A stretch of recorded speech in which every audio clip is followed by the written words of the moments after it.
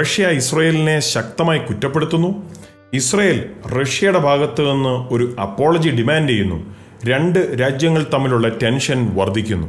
എങ്ങനെയാണ് ഇതെല്ലാം അന്ത്യകാലവും ബൈബിൾ പ്രവചനമായി കണക്റ്റ് ആയിരിക്കുന്നത്? Coming hello this pastor Joji from point to eternity dot com എന്റെ അടുത്ത സമകാലിക സംഭവങ്ങൾ ബൈബിൾ വെളിച്ചത്തിൽ വീക്ഷിക്കുന്ന ഈ ഒരു അപ്ഡേറ്റും സ്റ്റഡിയിലേക്കും കർത്തൃനാമത്തിലുള്ള സ്വാഗതം. മെയ് ഒന്നാം തീയതി ഇറ്റാലിയൻ ടി വി സ്റ്റേഷന് കൊടുത്ത ഒരു ഇന്റർവ്യൂവിൽ റഷ്യയുടെ ഫോറിൻ മിനിസ്റ്റർ സെർഗെ ലാവറോ ചില ചോദ്യങ്ങൾക്ക് ആൻസേഴ്സ് കൊടുക്കുകയായിരുന്നു. അതിൽ റഷ്യ ഇത്രയും നാളും പറയുന്നത് റഷ്യ ഉക്രൈന്റെ മേൽ ഈ അധിനിവേശം നടത്തിയത് ഉക്രൈനിലുള്ള നിയോ നാസി ഗവൺമെന്റിനെ മറിക്കുവാൻ വേണ്ടിയാണ്. റഷ്യ പറയുന്നത് വോളഡമിർ സെലൻസ്കി യഹൂദനാണെന്നും തന്റെ കുടുംബാംഗങ്ങൾ ഹോളോകോസ്റ്റിൽ മരണപ്പെട്ടു എന്നും താൻ ഒരു നാസിയാണെന്നും ഇപ്പോഴത്തെ നിയോ നാസി ഗവൺമെന്റുമായി ഉക്രൈനിൽ പ്രവർത്തിക്കുകയാണ് എന്നാണ് റഷ്യ കുറ്റപ്പെടുത്തുന്നത്. അപ്പോൾ കൂടുതൽ ചോദിച്ചപ്പോൾ ലാവറോ പറഞ്ഞത് സെലൻസ്കി യഹൂദനാണോ ഇല്ലയോ എന്നുള്ളതല്ല വിഷയം. ഹിറ്റ്ലറിനെ നോക്ക്. ഹിറ്റ്ലറിന് യഹൂദ രക്തമായിരുന്നു എന്ന്. ലാവറോ ഇപ്രകാരം പോലും പറഞ്ഞു യഹൂദന്മാർ തന്നെയാണ് യഹൂദന്മാരുടെ ഏറ്റവും വലിയ ശത്രുക്കളെന്നും ഈ ഹോളോകോസ്റ്റിന് ഉത്തരവാദികൾ യഹൂദ ജനമാണെന്നും വളരെ വളരെ ചരിത്രപരമായിട്ടുള്ള തെറ്റായിട്ടുള്ള സ്റ്റേറ്റ്മെന്റുകളും ഒക്കെയാണ് താൻ പ്രസ്താവിച്ചത്. ഇസ്രയേലിന്റെ നേതൃത്വം ഉടൻ തന്നെ റിയാക്ട് ചെയ്യുണ്ടായി ഫോറിൻ മിനിസ്റ്റർ യായർ ലപ്പീഡും പ്രൈം മിനിസ്റ്റർ നഫ്താലി ബെനറ്റും എല്ലാം പ്രതികരിച്ചു.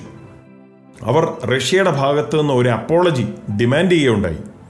ലപ്പീഡ് പറഞ്ഞത് യഹൂദന്മാർ തന്നെത്താനെ ഹോളോകോസ്റ്റിൽ അങ്ങോട്ട് അങ്ങോട്ടും ഇങ്ങോട്ടും കൊന്നിട്ടില്ല. യഹൂദന്മാർക്കെതിരെ ഉന്നയിക്കാമെന്ന അല്ലെങ്കിൽ റേസിസം യഹൂദന്മാർക്കെതിരെ ഉയർത്താമെന്നതിന്റെ ഏറ്റവും വലിയ ഒരു എക്സാമ്പിളാണ് യഹൂദന്മാർ തന്നെയാണ് യഹൂദന്മാർക്ക് പ്രശ്നക്കാർ എന്ന ഇപ്രകാരമുള്ള ആരോപണം. ഇസ്രയേലിന്റെ ഫോറിൻ മിനിസ്ട്രി റഷ്യയുടെ അംബാസഡർ ടു ഇസ്രയേൽ അദ്ദേഹത്തെ വിളിച്ചു വരുത്തുകയും അവരുടെ ആ ഇസ്രയേലിന്റെ ആ ഡിസ്പ്ലഷർ അപ്രീതി രേഖപ്പെടുത്തുകയും ചെയ്തു. റഷ്യ നമുക്കറിയാം അപ്പോളജികളൊന്നും അങ്ങനെ കൊടുക്കാത്ത ഒരു രാജ്യമാണ് എന്നിട്ട് മെയ് മൂന്നാം തീയതി റഷ്യയുടെ ഫോറിൻ മിനിസ്ട്രി ഈ ലാവ്റോവ് പറഞ്ഞ വാക്കുകളെ ഒന്നും കൂടെ ഉറപ്പിച്ച് പ്രസ്താവിക്കുന്ന ചില കാര്യങ്ങൾ പ്രസ്താവിച്ചു. അതിലവർ പറഞ്ഞത് ഇപ്പോഴത്തെ കറണ്ട് ഇസ്രയേൽ ഗവൺമെന്റ് കീവ് ഉക്രൈനിലുള്ള നിയോ നാസി റെജീമിനെ സപ്പോർട്ട് ചെയ്യുകയാണെന്ന്.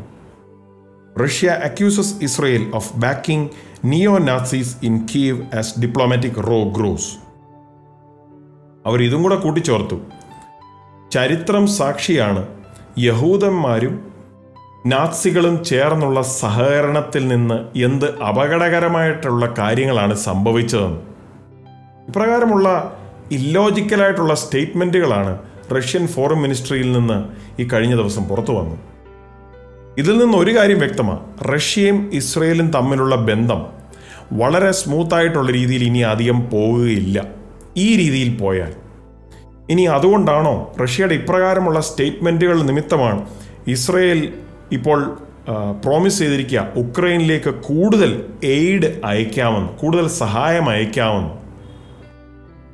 Israel reportedly leaning towards sending defensive military aid to Ukraine Israel ഇപ്പോൾ പറഞ്ഞിരിക്കുന്നത് പ്ലെന്റി ഓഫ് ഐറ്റംസ് ധാരാളമായിട്ടുള്ള കാര്യങ്ങൾ കീവിലേക്ക് അവർ അയക്കാൻ പോവുകയാണ്.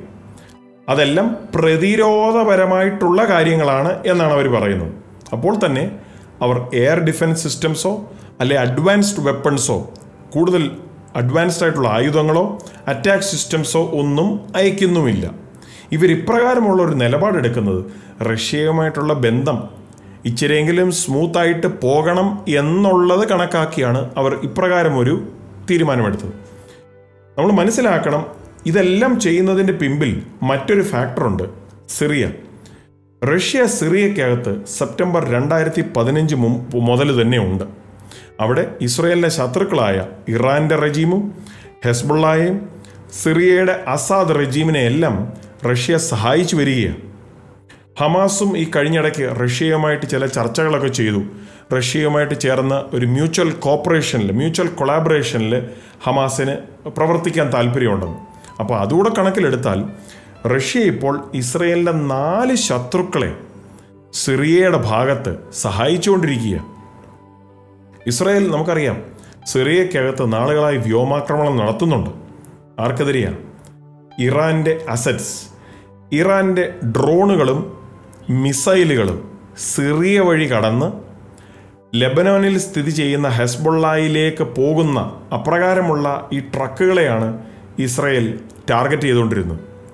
അതുപോലെ തന്നെ ഗോലാന്റെ പ്രദേശത്ത് ഇസ്രയേൽ സിറിയ ബോർഡറിലെ ആ ഗോലാൻ കുന്നുകളുടെ സിറിയയുടെ ഭാഗത്തോട്ടും പൊയ്ക്കൊണ്ടിരുന്ന ഇപ്രകാരമുള്ള മിസൈലിന്റെയും ഡ്രോണുകളുടെയും പാർട്സ് കൊണ്ടുപോകുന്ന ട്രക്കുകളെ ഇസ്രയേൽ ടാർഗറ്റ് ചെയ്യുന്നുണ്ടായിരുന്നു.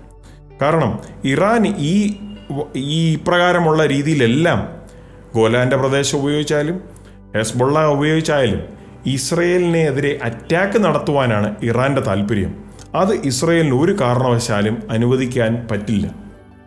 ഇത്രയും നാളും റഷ്യ അനുവദിച്ചിരുന്നു ഇസ്രയേലിന് ഇപ്രകാരമുള്ള വ്യോമാക്രമണം. സിറിയക്കകത്ത് റഷ്യ അവിടെ ഉണ്ടായിട്ട് പോലും സിറിയക്കകത്ത് ഇസ്രയേലിന് വ്യോമാക്രമണം നടത്തുവാൻ റഷ്യ അനുവദിച്ചിരുന്നു.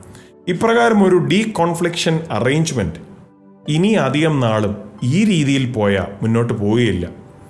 കഴിഞ്ഞ മാസങ്ങളായിട്ട് റഷ്യയുടെ അധികൃതരും അതുപോലെ തന്നെ നയതന്ത്ര ആളുകളുമെല്ലാം ഇസ്രയേലിനെ കുറ്റപ്പെടുത്തുക സിറിയക്കകത്തുള്ള വ്യോമാക്രമണം നിങ്ങൾ നിർത്തണം എന്ന രീതിയിൽ തന്നെ കുറ്റപ്പെടുത്തുക ഓർക്കണം റഷ്യ സിറിയക്കകത്ത് നല്ല നമ്പേഴ്സിലുണ്ട് റഷ്യക്ക് സിറിയക്കകത്ത് അവരുടെ വ്യോമ ബേസ് നാവിക ബേസ് അവരുടെ മിലിറ്ററി ബേസ് എല്ലാമുണ്ട്. റഷ്യ സോവിയറ്റിന്റെ കാലഘട്ടം മുതൽ തന്നെ ബഷാർ അൽ അസാദിന്റെ ആ പിതാവിന്റെ സമയം മുതൽ തന്നെ നല്ല ബന്ധം റഷ്യയും സിറിയയും തമ്മിലുണ്ട്.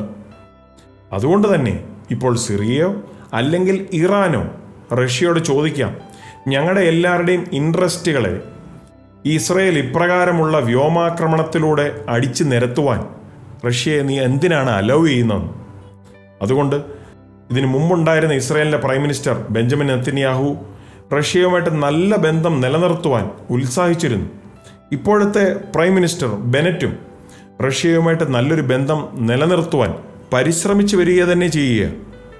അപ്പോൾ സിറിയയുടെ ഘടകവും പിന്നിപ്പോൾ ഉക്രൈന്റെ ഘടകവും കൂടെ ആയപ്പോൾ റഷ്യയും ഇസ്രയേലും തമ്മിലുള്ള ബന്ധം വളരെ മോശമായിട്ടുള്ള രീതിയിലേക്ക് നീങ്ങിക്കൊണ്ടിരിക്കുക റഷ്യയ്ക്ക് വല്ല വിധേനയും ഉക്രൈനിൽ നടത്തിയിരിക്കുന്ന ഈ അധിനിവേശത്തെ ലോകത്തിന്റെ മുമ്പാകെ ന്യായീകരിക്കണം. അതിനെടുക്കുന്ന അല്ലെങ്കിൽ ലോകത്തിന്റെ ശ്രദ്ധയെ തിരിച്ചുവിടുവാൻ തന്നെ ശ്രമിക്കുന്ന രീതികളിലെ ഒന്നാണ് ഇസ്രയേലിനെ ഇപ്പോൾ കുറ്റപ്പെടുത്തുന്ന രീതിയിലൊക്കെ നീങ്ങിക്കൊണ്ടിരിക്കുന്നു അപ്പോൾ നമ്മൾ ശ്രദ്ധിക്കേണ്ടത് റഷ്യ എപ്രകാരമാണ് ഇസ്രയേലിനെതിരെ തിരിയുന്നത്?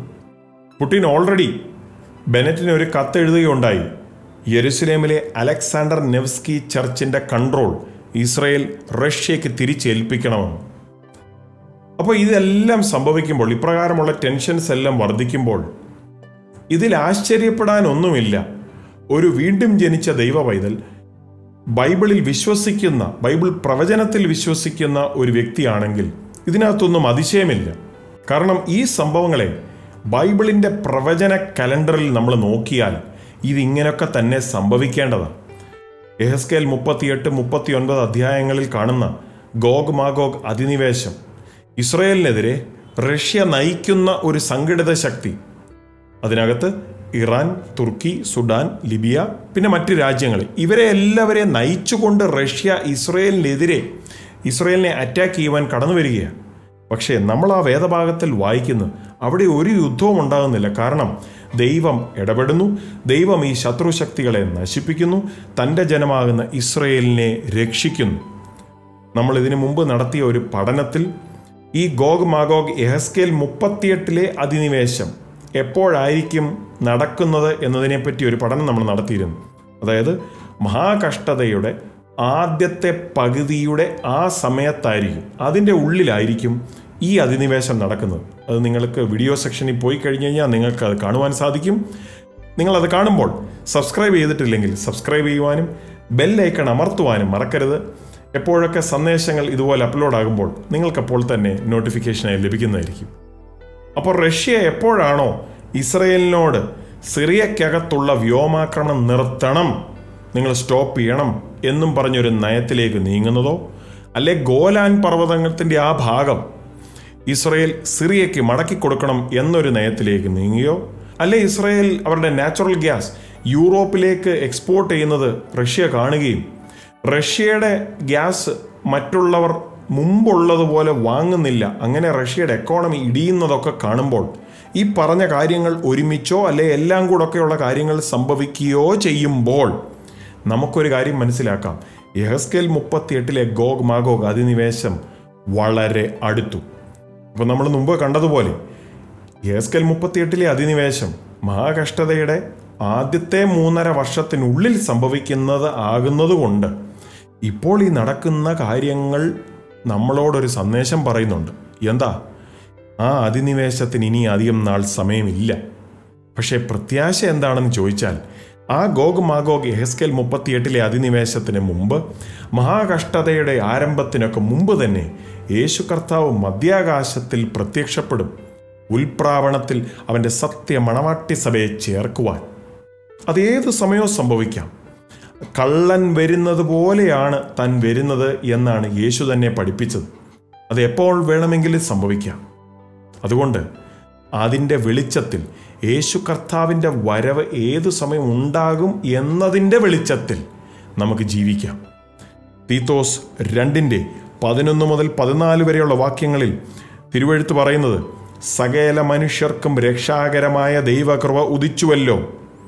നാം ഭാഗ്യകരമായ പ്രത്യാശയ്ക്കായിട്ടും മഹാദൈവവും നമ്മുടെ രക്ഷിതാവുമായ യേശുക്രിസ്തുവിന്റെ തേജസ്സിന്റെ പ്രത്യക്ഷതയ്ക്കായിട്ടും കാത്തുകൊണ്ട് ഭക്തികേടും പ്രപഞ്ചമോഹങ്ങളും വർജിച്ചിട്ട് ഈ ലോകത്തിൽ സുബോധത്തോടും നീതിയോടും ദൈവഭക്തിയോടും കൂടെ ജീവിച്ചു പോരേണ്ടതിന് അത് നമ്മെ ശിക്ഷിച്ചു വളർത്തുന്നു.